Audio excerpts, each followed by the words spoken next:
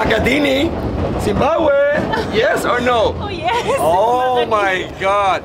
We're here with the beautiful and sexy Miss Yeah. Zimbabwe.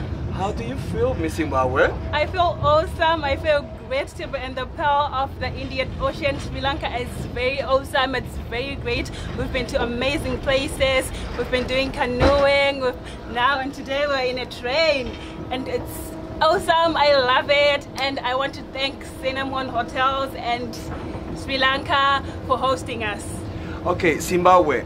I just want to ask you Okay. a beauty secret. Tell me a beauty secret. Well, my beauty secret lies within me. My beauty lies from inner. The inner beauty is more valuable than the outer beauty. The more beautiful you are inside, the more beautiful you are outside. If you're beautiful inside, you're awesome to people, you're awesome to everything that you do, you are great. Um, um, if I ask you one thing that you that you like most of Sri Lanka, what it, what you what you told me that you love most of this country? Well, the most thing that I love about Sri Lanka is the people. The people are very much nice, they are hospitable, something you can never take away from them. The people are welcoming and I love Sri Lankan people, something that I'll take to my country with. I, I was never expecting that they would be so welcoming and so hospitable to us. I love the people and their hospitality.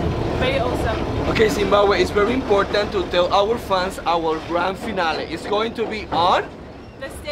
The 16th of October at the Stein Studios. Come and watch us live. It's, going to be live streaming on www.missintercontinental.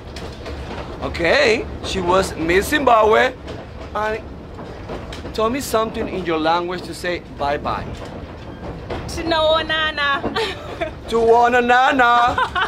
I need to learn Thai, African, no Spanish. I speak Spanish. you speak Spanish. I need to I need to improve my English, but I love your language. Okay. Thank you. Thank you so much, Zimbabwe. See you later.